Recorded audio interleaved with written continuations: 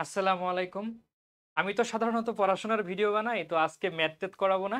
আজকে কিছু কথা বলব। কথাগুলো অবশ্যই মোটিভেশনাল কোনো কথা না। এটা জাস্ট আমার অবজারভেশন যে একজন সাধারণ এভারেজ মানে স্টুডেন্ট এবং টপ ক্লাস মানে একদম প্রথম সারির প্রথম সারির স্টুডেন্টদের মধ্যে পার্থক্যটা কি? মানে প্রথম সারির স্টুডেন্টরা কি এমন কি, কি করে যার কারণে তারা প্রথম সারির।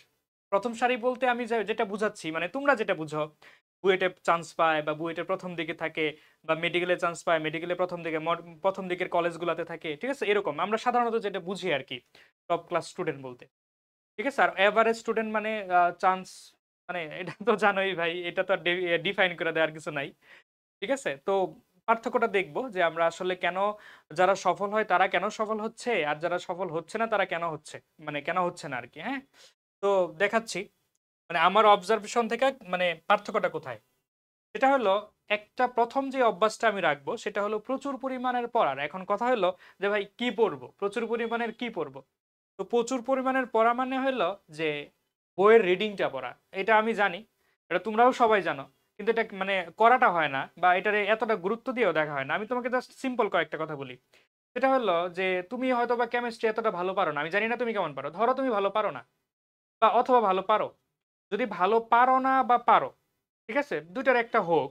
কিন্তু তুমি একবার চিন্তা করো কেমিস্ট্রি বই ফার্স্ট পেপার পুরা বইটা একবার হইলেও রিডিং দিছো কিনা? মানে তুমি যেমনই পারো, কেমিস্ট্রি যেমনই পারো। কিন্তু পুরা বইটা একবার হলেও রিডিং দিছো কিনা পুরাটা। অথবা তুমি অর্গানিক কেমিস্ট্রি ভালো একটা পারো না।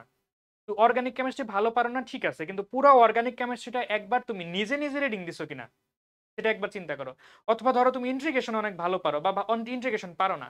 তো ইন্টিগ্রেশন শুরুর আগে প্রথম যে কয়েকটা পেজ তিনটা বা চারটা পেজ আছে ম্যাথ বইয়ে, এই সবগুলা পেজ তোমার পড়া হয়েছে কিনা? দুই তিনবারের কথা বাদ দিলাম। একবার পড়ছো কিনা?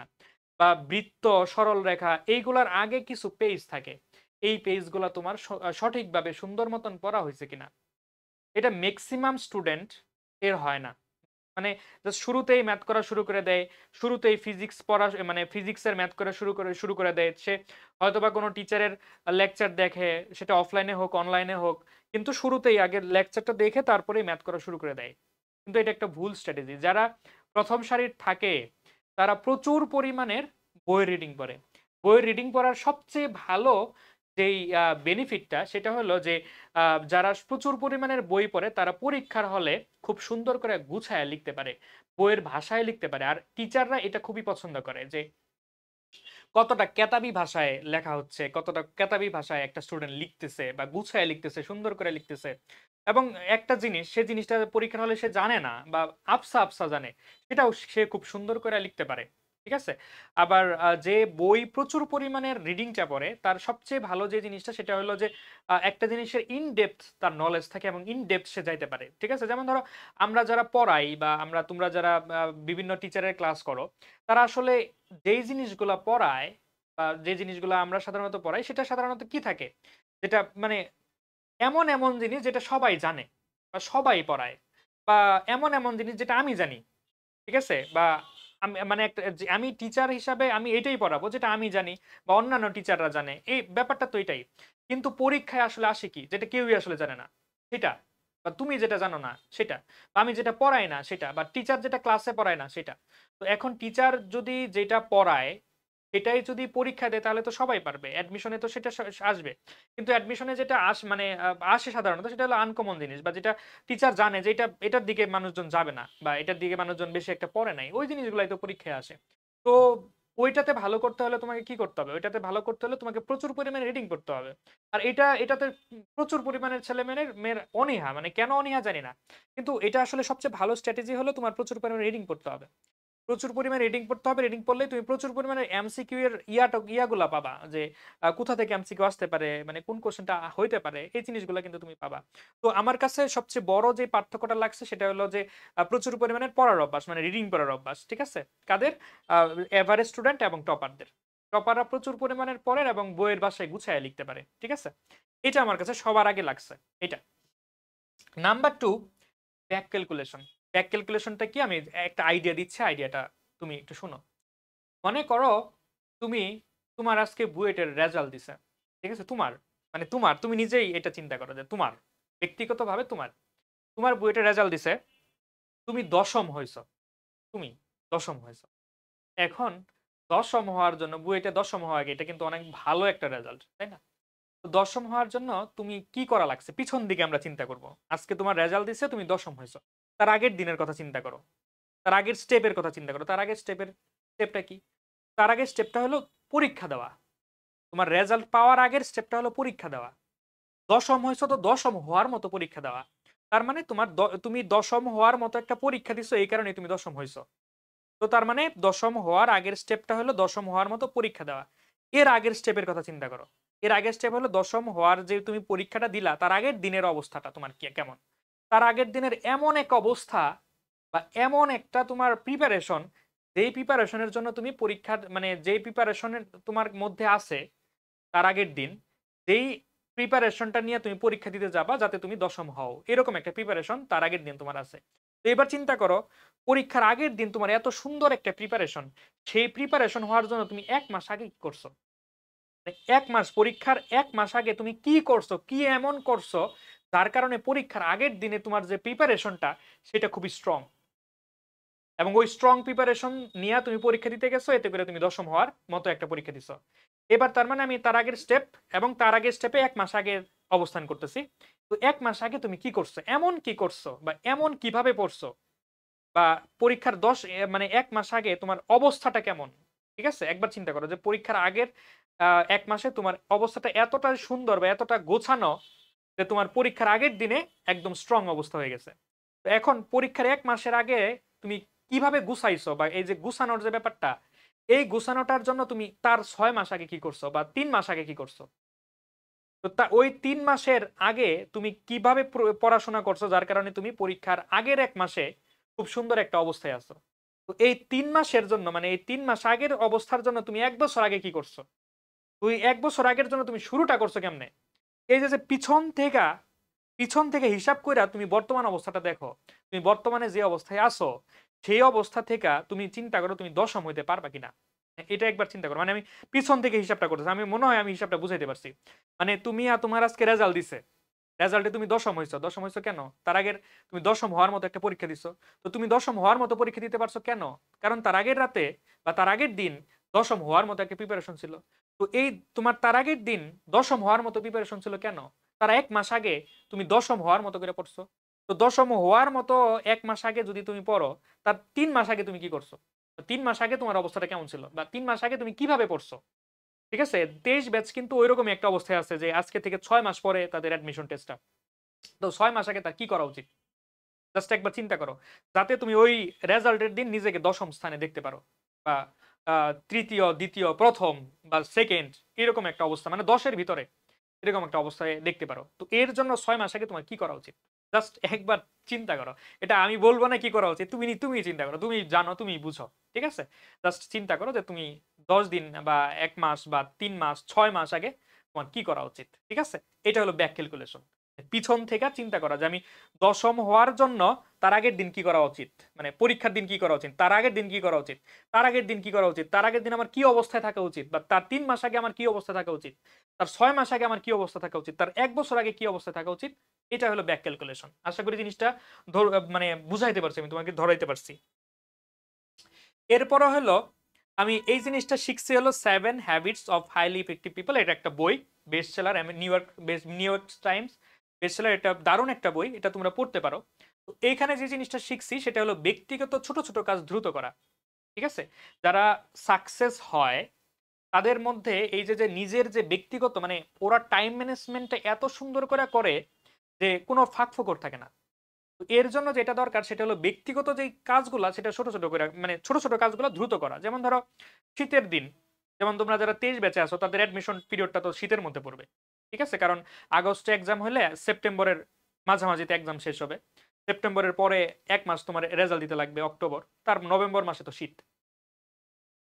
তো শীতের শীতের মধ্যে আমরা গুস চিন্তা করতে আধা ঘণ্টা চলে যায় বা এক ঘণ্টা চলে যায়।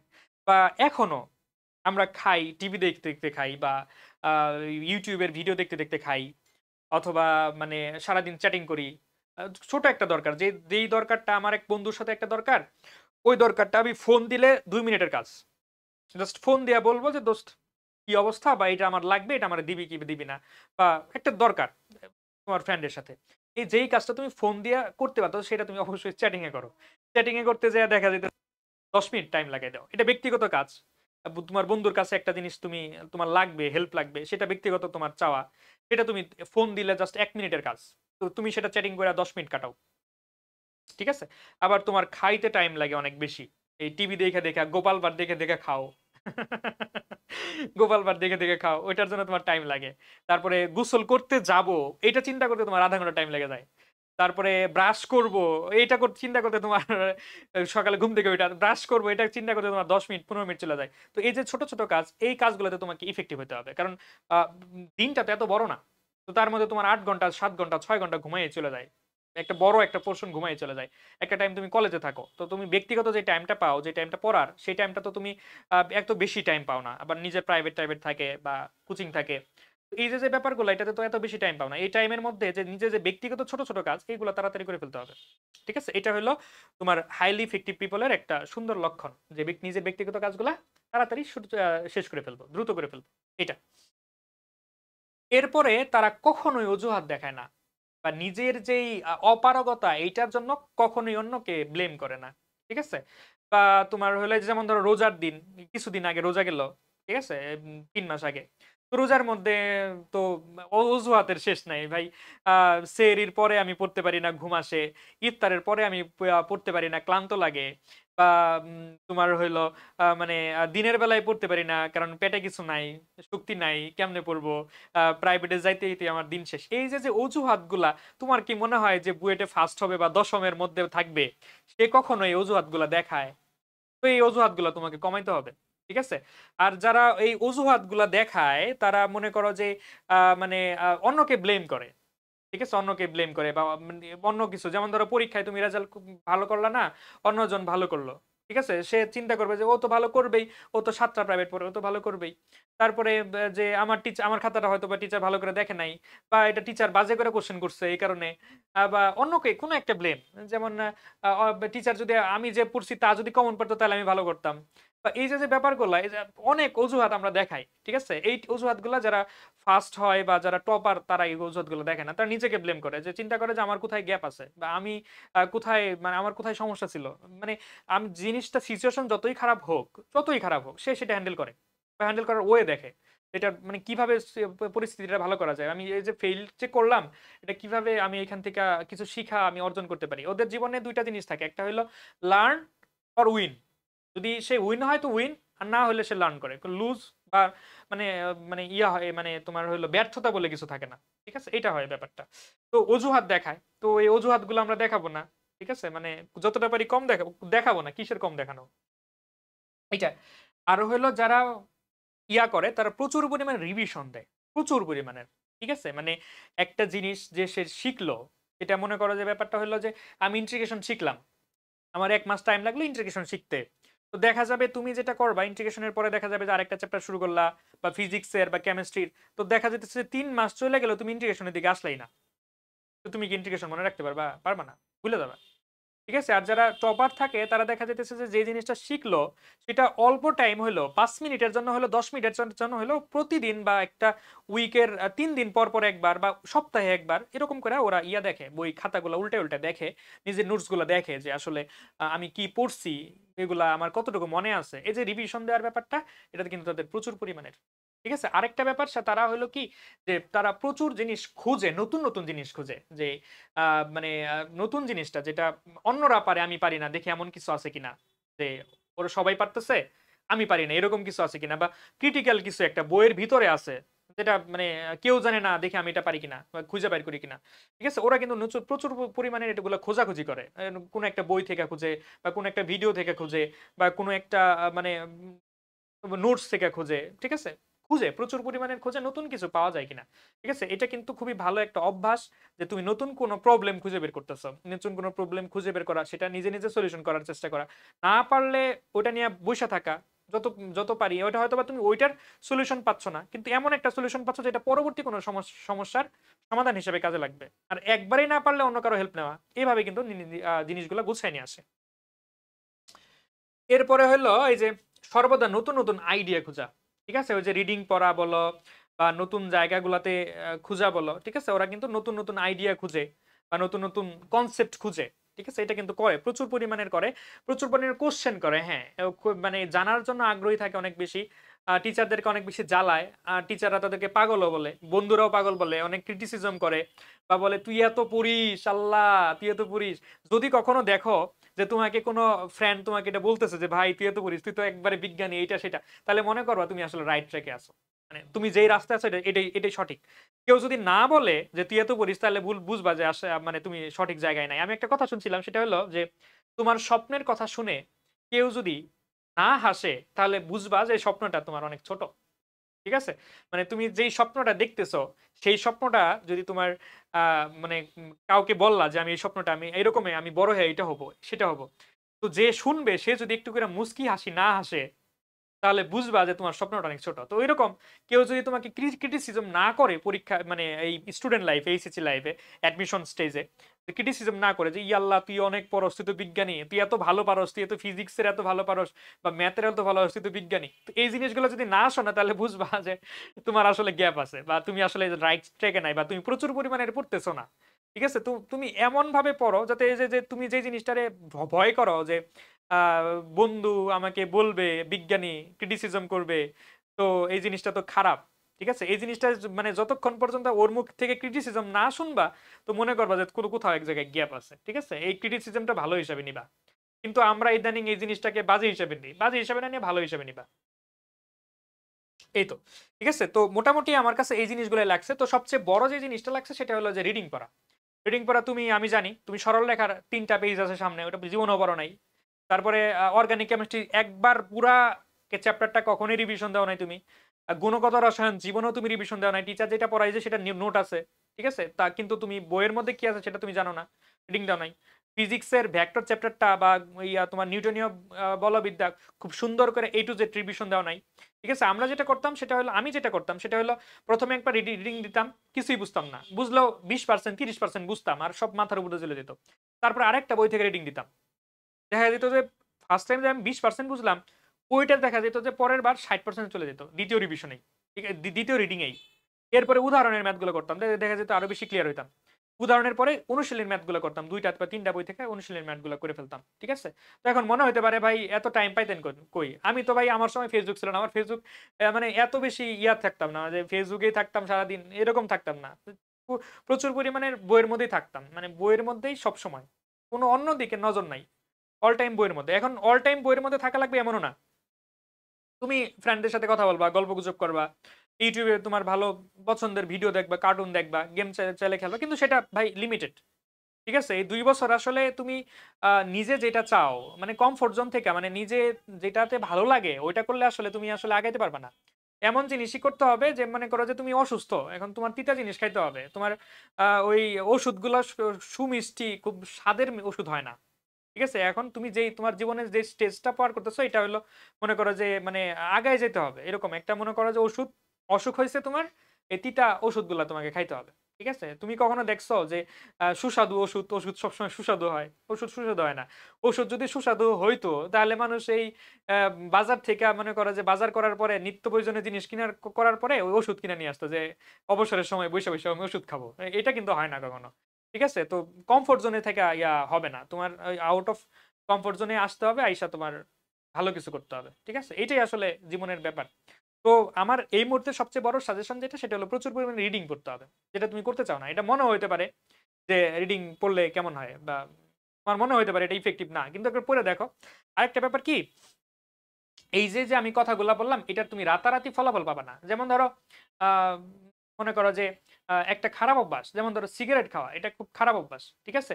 তুমি চিন্তা করো, একটা লোক একটা সিগারেট খাইলো, পরের দিন সকালে ঘুম থেকে উঠে উঠে দেখল তার ক্যান্সার হয়েছে ঠিক আছে? একটা সিগারেট খেলো আজকে রাতে, কালকে সকালে ঘুম থেকে উঠে দেখল যে তার ক্যান্সার হয়েছে তো এই জিনিসটা যদি হয়, তাহলে দুনিয়ার কেউ সিগারেট খাবে, কেউ খাবে না। কিন্তু এটা তো হয় না। এটা হয় না। এটা হয় কেমনে? এটা হয় হলো বছরের পর বছর, বছরের পর বছর, বছরের পর বছর যখন একটা মানুষ এইটা, এই বাজে অভ্যাসের মধ্যে থাকে ফাইনালি পঞ্চাশ বছর বয়সে বা ষাট বছর বয়সে তার ক্যান্সার ধরা পড়ে বা তার ফুসফুসে একটা সমস্যা ধরা পড়ে বা শরীরের অন্য জায়গায় একটা সমস্যা ধরা পড়ে। ঠিক আছে? এটা হয় আস্তে আস্তে আস্তে আস্তে আস্তে আস্তে। ঠিক আছে? মানে সরাসরি রাতারাতি তুমি চেঞ্জ পাবা না। তো তুমি যে যদি একটা নিজের মধ্যে একটা ভালো পরিবর্তন আনতে চাও, এই যে সময়ের হেফাজত করা বা নিজের ব্যক্তিগত কাজগুলো অল্প টাইমে করা বা প্রচুর পরিমাণে রিডিং পড়া, এটা তুমি আজকে পড়লা, কালকেই রেজাল্ট পাবা এরকম না। এটা আস্তে আস্তে পাবা। মাসের পর মাস, মাসের পর মাস, মাসের পর যাওয়ার পরে ফাইনাল রেজাল্ট পাবা। মানে যখন যখন রেজাল্টটা পাবা, তখন বিশাল আকারে পাবা। সব রেজাল্ট একবারে পাবা।